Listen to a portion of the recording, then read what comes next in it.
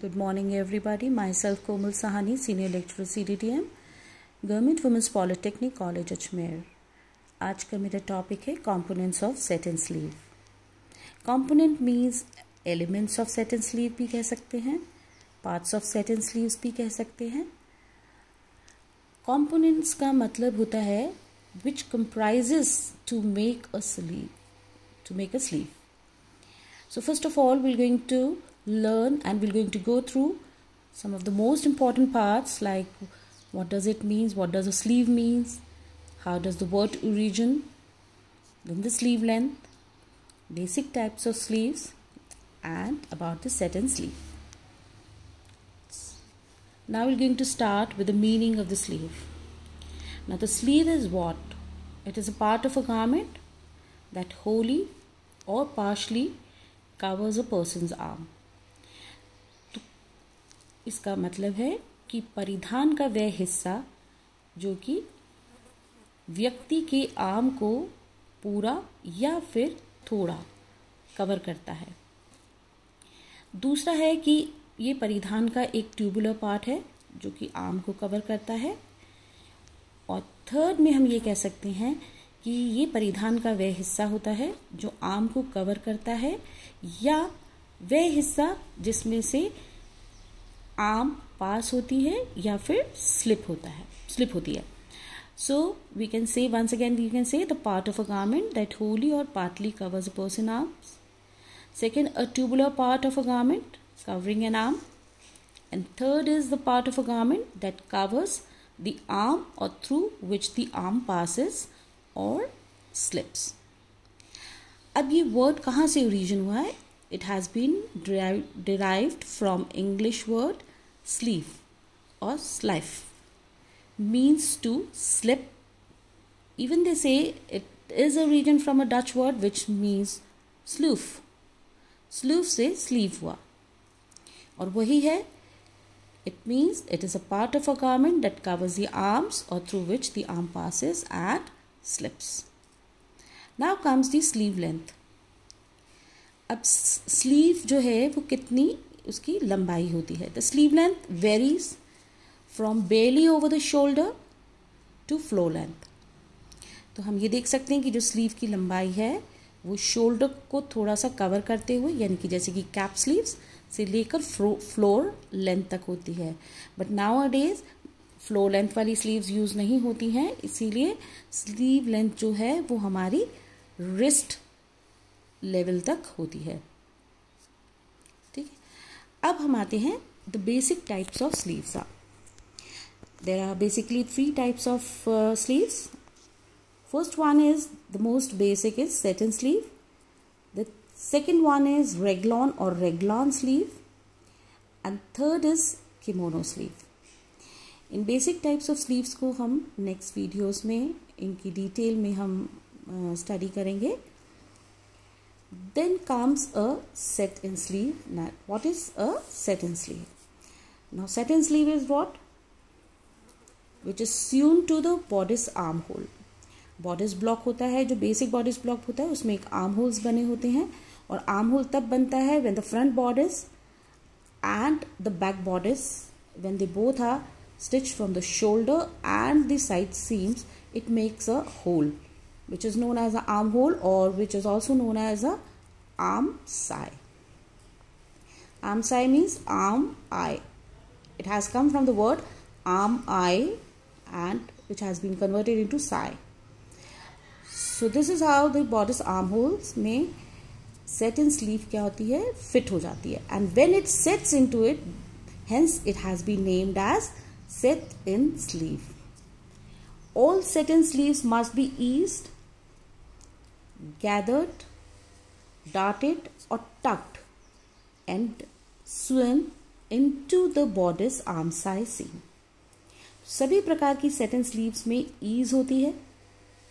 Gathers भी होते हैं, उनको गैदर्स भी दिए जा सकते हैं डार्ट्स भी डाले जा सकते हैं इट कैन इवन टग्ड और इनको फिर बॉडीज आर्म साई की सीम में सिल दिया जाता है और फिट करा जाता है, सिल के फिट किया जाता है। स्लीव्स जो है दे कैन बी फिटेड मतलब throughout the length it can be fitted जितनी भी लंबाई है up to the elbow three fourth one जितनी भी हैं बाइसेप लेवल तक भी है तो वो सारी की सारी फिटेड हो सकती हैं. It can be flat flat can be bottom से होती है. And cut to any length ये किसी भी लंबाई में काटी जा सकती है. और इनकी जो हेम लाइन्स होती हैं, वो विभिन्न प्रकार से फिनिश की जा सकती है. Means the hem lines can be finished in a variety of ways अब हम पढ़ेंगे कि सेटन स्लीव के कंपोनेंट्स कौन कौन से होते हैं। Now you can see here here this is a illustration or a diagram of a satin sleeve. Now, you can just see what you have to do is and this is a basic sleeve block of satin sleeve अब आप इसको open कर लेते हैं and draw it on the paper now this is the back part and this is the front part part sorry तो back part आप ये देख सकते हैं यहाँ पे इसकी कर्व से less deep and it is more deep the arm hole part is now draw it in a solid line and all the other lines these are not a true lines you can assume it that these are the lines and therefore it has been depicted in a dotted lines you can just see it's in a dotted line but these are the stable lines you can say ठीक है तो पहली line जो हमने draw की है वो हम करते हैं सेंटर लाइन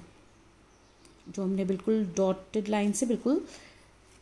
इक्वल पार्ट्स में यहाँ पे दोनों तरफ़ है और हमने इसको ड्रॉ किया। You can just see it then हम फ्रंट पार्ट के दोनों हिस्सों में फिर वापस एक सेंटर लाइन ड्रॉ करते हैं, जिसे हम कहते हैं फ्रंट ड्रेपिंग पॉइंट होता है ये लाइन होती है ड्रेपिंग लाइन है ये। और फिर हम बैक वाले पार्ट के बीच में हम वापस से एक डॉटेड लाइन ड्रॉ करते हैं। ये हमारी बैक ड्रेपिंग लाइन होती है और हमारे इस पॉइंट से लेके इस पॉइंट तक जो हमारी चेस्ट लाइन से जुड़ती है इस लाइन पे हम एक और लाइन ड्रॉ कर लेते हैं dotted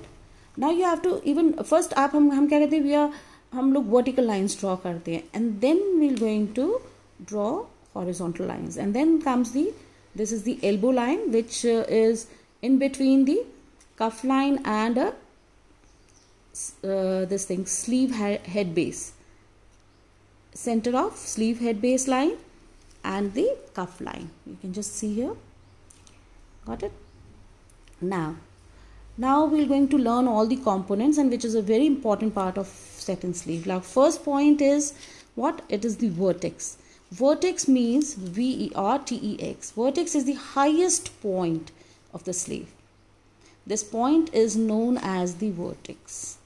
और वर्टिक्स वो पॉइंट होता है जो शोल्डर सीम पे जॉइन होता है। ठीक है? Then comes the crown you can just see this part is the crown then comes the head you must be knowing whenever you are wearing a crown or a queen is wearing a crown the crown is above the head is above the head it lies above the head so you can just see the head is down and the crown is above as soon as you just come down it will be head so first is the vertex and the another part is the crown part and then comes the head part ठीक है अब हम ये देख सकते हैं कि ये वाला जो पार्ट है यहाँ तक ये हेड है ठीक है जो इनके ये जो नॉचेस वाले पॉइंट्स हैं उसके ऊपर वाला हिस्सा जो है उसे हम हेड कहते हैं and the part of the shoulder part जो थोड़ा सा बल्कि पार्ट होता है हमारा शोल्डर का, वो जो कवर करता है that is known as a crown ठीक है, फिर उसके बाद आता है head then comes the front draping point जो कि आप ये देख सकते हैं, ये आर्म होल के हाफ़ वे में बॉडिस आर्म होल के हाफ़ वे में ये पॉइंट हमारा जो है, ये स्टिच होता है. ठीक है? और हम इस वाले पार्ट में ईज देते हैं। इस वाले पार्ट में हम ईज देते हैं। और बैक ट्रेपिंग पॉइंट है, वो बैक बैक पार्ट के जो आर्म होल होता है, उसके सेंटर पॉइंट में ये बैक ट्रेपिंग पॉइंट अटैच होता है, या वहाँ पे सीम किया जाता है। Then comes the sleeve head base जैसे ही ये कर्व ख़त्म होता है this part is known as a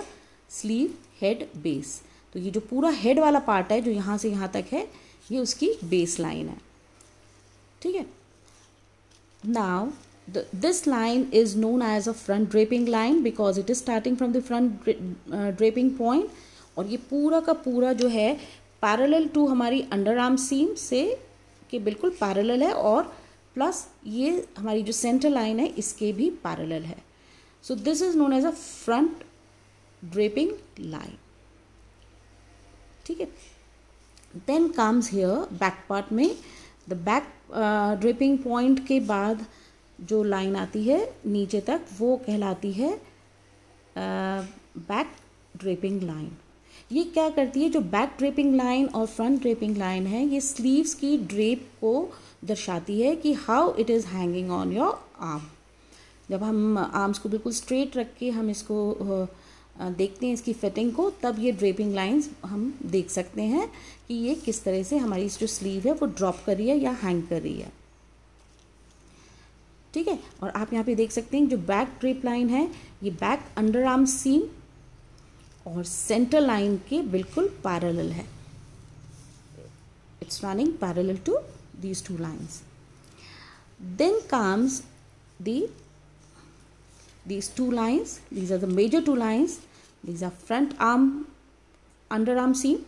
and this is a back underarm seam these both lines are seam lines अभी हमने स्लीव ब्लॉक में हम क्या करते हैं we don't add uh, seam allowances so this is the original seam line and after that we're going to add a seam allowance and then only and we'll draw a new seam line and then going to stitch it on these two lines अब हम जब इन दोनों को centre line से जब इसको fold करके इधर लाएँगे then we going to put our seam on this these two lines so these back underarm seam and the front underarm seam these are the seam lines then comes a elbow line now elbow line जो है वो elbow पे आके rest करती है ठीक है और सेंटर लाइन यानी हम वर्टेक्स से जब हम इसको मेजर करते हैं तो ये हमारी एल्बो लाइन तक, यानी कि जो लेंथ है वो स्लीव की, वो एल्बो तक आती है। And this is known as a elbow line and the last line which is a very solid line it is known as a cuff line ये हमारे कफ के लिए होता है। ठीक है? अब आपने ये भी देखा होगा कि ये मतलब ये लाइन जो है, ये इसकी जो लेंथ है ये कम है कंपेरेटिवली बैक वाले पार्ट की। सो so, क्योंकि यहाँ पे हमारा एक डार्ट लगता है एल्बो डार्ट बैक पार्ट में इसीलिए ये थोड़ा एक्सटेंडेड पार्ट है।